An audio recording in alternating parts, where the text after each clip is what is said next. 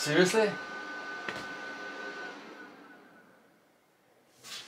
Welcome to Firearms of America. Today I have uh, something a little bit different for you guys. Not exactly gun review or gun comparison, but we are still talking about guns. Specifically the guns that I reviewed on this channel. All the guns of all the guns that I reviewed on this channel. What were the worst guns that I reviewed? And I actually have a list. And believe it or not, knowing how much I love firearms and how excited I get about firearms, the list is pretty big. Now some of the reasons are really personal, more than the gun itself. Some of the things I messed up, but nevertheless they're all here. So let's get into the very first one, the worst gun that was featured on this channel, Ruger SR9. Let me tell you guys, especially Ruger fans, which I'm in, in that, my main arm right there is sitting there, Ruger PC Charger. So I, I love Ruger firearm. And don't get me wrong, the SR9 is actually a very, very good gun. It's, it's a quality gun, but it was my very first gun and for whatever reason, that specific handgun has the toughest slide, like literally of everything I've shot. And I've shot hundreds of handguns. Literally the toughest slide to freaking rack. This happened to be on, on SR9 and that SR9 happened to be my very first handgun. So you can imagine that the very first gun I had take in my hand. I bought my first handgun when I was like 25 when I was already here in the United States. I just literally got my green card, so I was a, had an ability to go buy a gun, so had no idea what guns, how, what, whatever. So I went to the store, they're like, oh yeah, this is a good gun. So I ended up buying it. And actually, you know what the funny thing is? I reviewed that Ruger twice. That Ruger SR9 I reviewed twice on my channel because of... No, actually, you know what? I think I did it three times. Three times I reviewed. The first one it was like very, very basic, just on the table. The second one, I actually had some shooting in it. And then the third one, I actually did already updated with a normal camera. I, I think, I, I think it might have still been GoPro. And all three times, the only handgun that ever freaking pinched my hand when you rack it, the only ever handgun was Ruger SR9. And every single time I reviewed it, for whatever reason, I freaking was pinching my hand in it. I don't know why, it never happened to any other gun.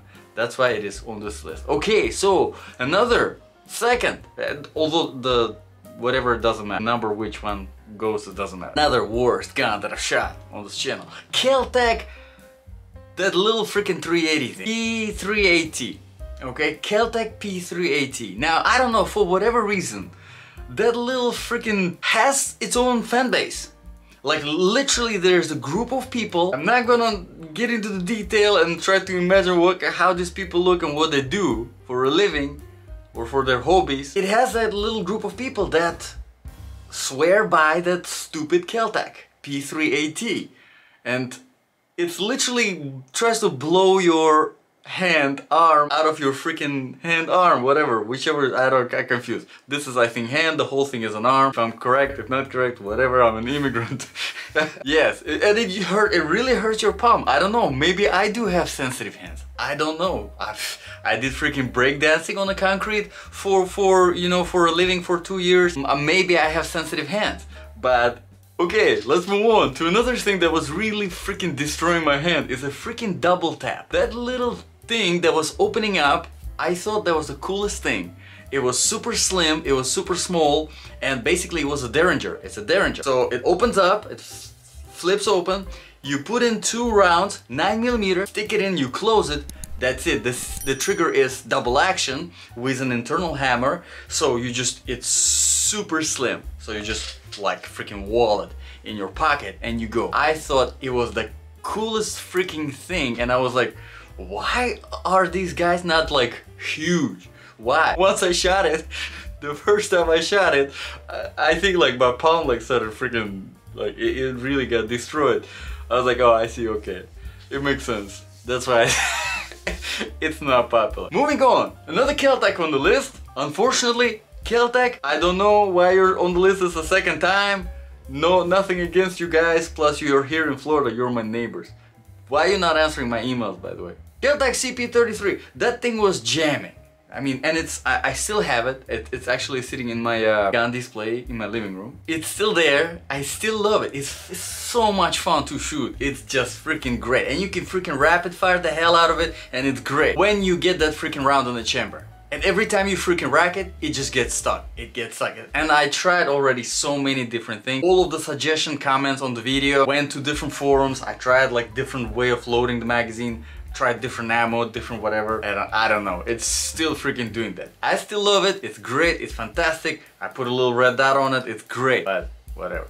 Anyway, another gun that is I loved, but I just couldn't freaking ended up on this list, SVI Infinity. And really it goes for every single 1911 handgun that I reviewed on this channel. I absolutely love 1911, especially SVI Infinity. I mean, that is, that although it was a 2011, but again, really, 2011 is just 1911 with more capacity, double stack mag. It's fantastic, everything is beautiful about it.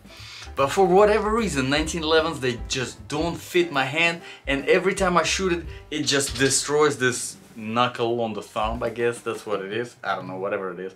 But it just freaking destroys it. So yes, and SVI Infinity was actually the, the one that did it the most. I don't know, maybe because of the 2011 grip, uh, because now it's even wider, so now I have even more. Maybe because the ammo that I was shooting, it was hotter ammo because it's a competition hand handgun. So I was shooting that competition ammo that is a little bit of a hotter round. I don't know, it was just freaking destroying my hand. Okay, moving on. Uh, Smith & Wesson 386 SC Mountain Lite. Now that was a little revolver, super light. When I picked it up, I was like, wow, this is fantastic. This is like gonna be great. No, so 357 SIG, I think. 357 SIG or was it Magnum? I don't know, whatever it was, but whenever I was shooting, it it was kicking so freaking hard. I think that was one of the, like, craziest recoils that I, like, ever experienced in my life in a handgun. It was just ridiculous. I don't know, maybe the ammo was like super hot too, but I don't know. It was just kicking like crazy and I'm thinking the reason because it was AirLite. Not a good idea for a revolver. Next one, it was the 1979 Smith & Wesson revolver. Yes, the one that I have, the one that I really got lucky getting. So the reason why it is on this list is because it's like, it shot me with a fragment or whatever whenever I was doing it stupid. You see, you do stupid things, stupid things happen to you. This is like the truth. This is me an example. And whenever I was doing that freaking stupid cowboy video, trying to shoot off the hip. The very first I've shot off the hip, well, first of all, it freaking got me deaf because I shot without the things because I'm like, okay, cowboys do it without the earplugs, so why I'm, I'll try to do it without earplugs, and I did it, and it was bad idea, really bad idea. That first round that I've shot, took it out, shot it, and this was kind of like hanging crooked, I don't know, whatever. And I feel, I feel burning in my forearm. So while I'm speaking on camera, well, that kind of looks fine. There's like a few red dots, not nothing crazy. I was like, okay, whatever. Maybe it was the primer or something. Day later, two days later, three days later, four days later, like this red spots, they, they're not healing. It just doesn't heal and it hurts.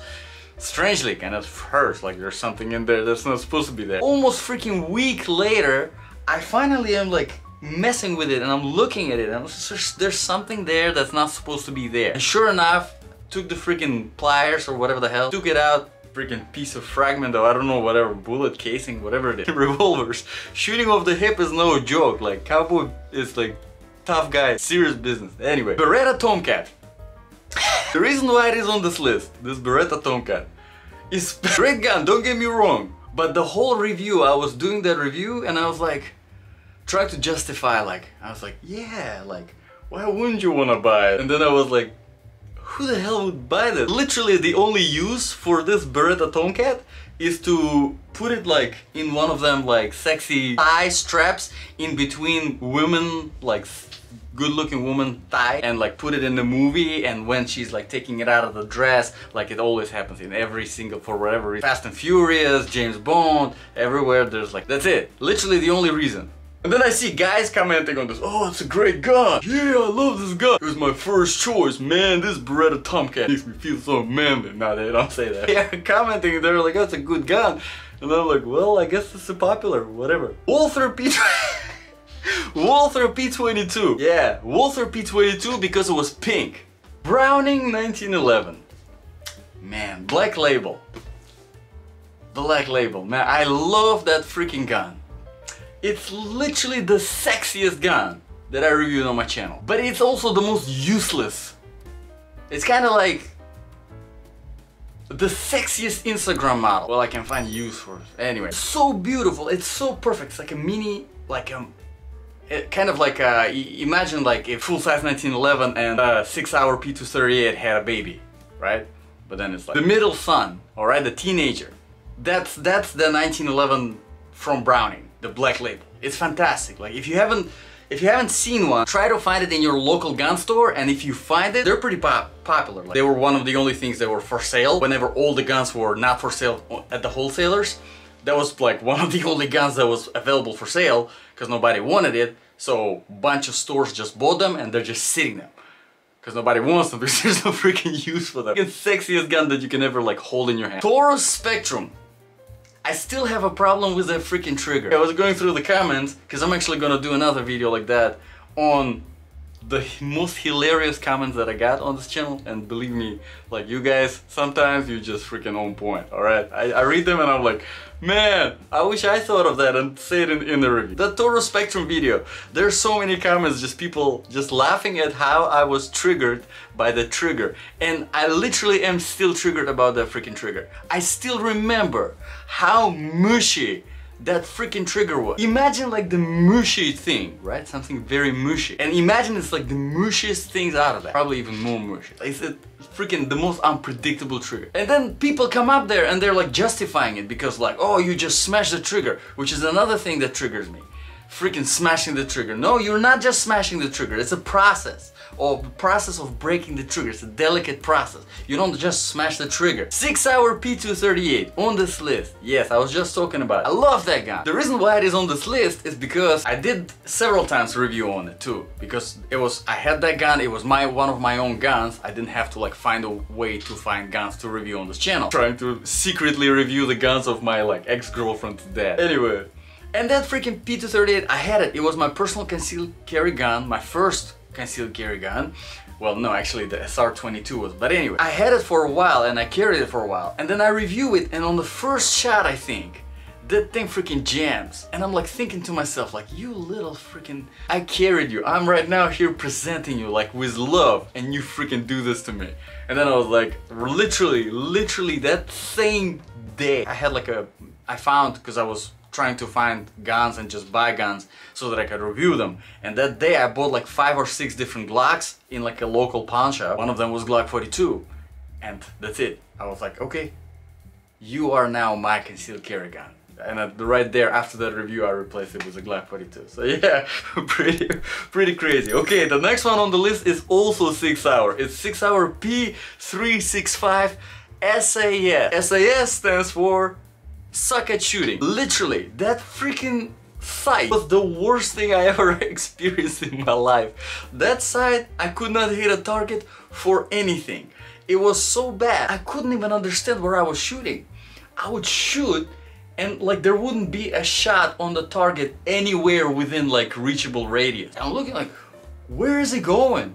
And, I, and I'm, I'm not seeing anything bouncing off the ground. I'm not seeing anything bouncing on the ceiling.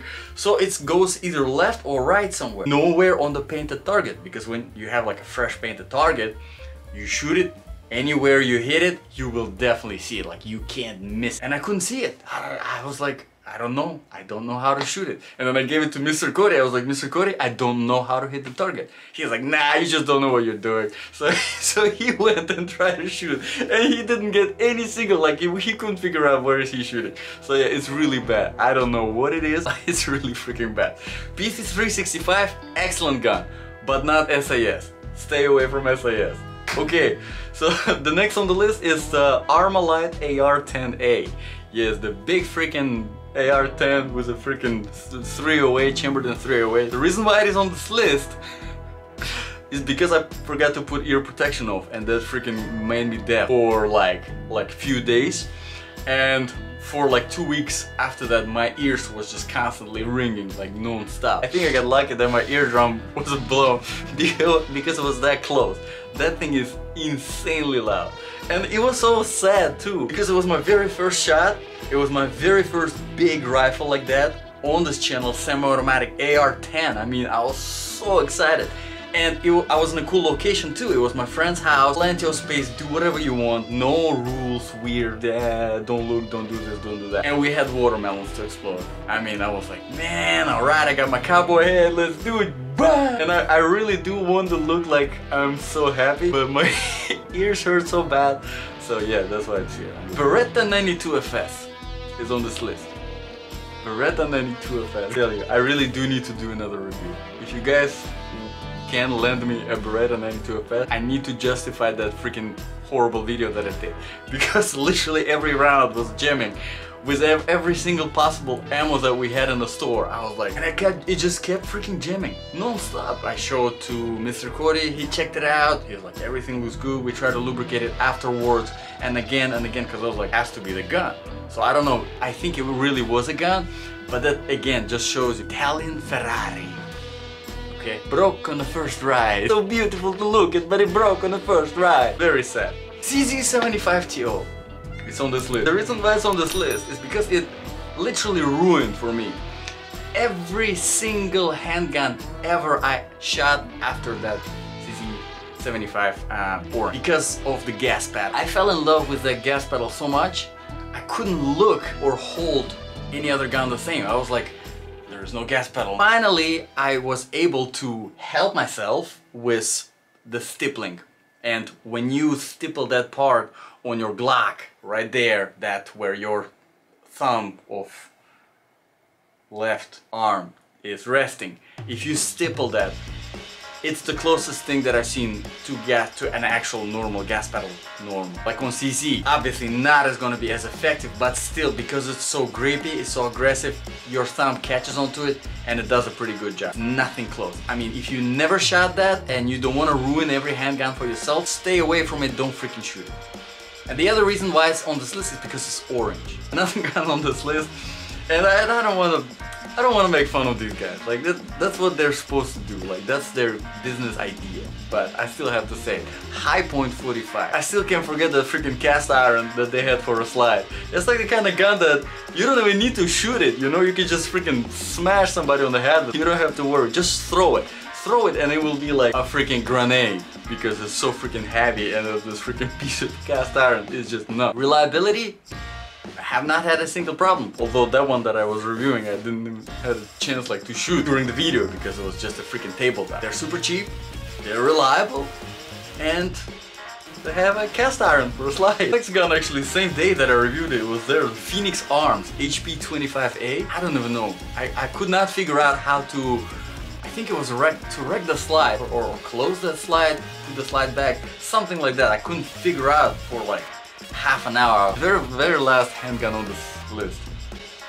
I know you're gonna be surprised because you know my unhealthy obsession with Glock. The last gun on this list is that Glock, the small, I think it was Glock 26.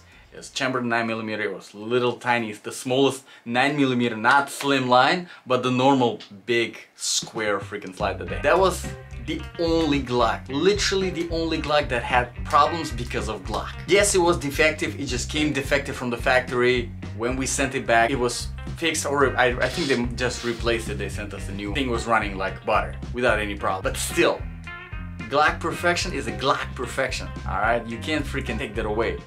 If you send a defective gun, you send a defective gun. So it was heartbreaking for me, really freaking heartbreaking because I was the only... I had problems before, with uh, Glocks, but it wasn't because of a Glock. It was one time we had a Glock uh, 17 issue.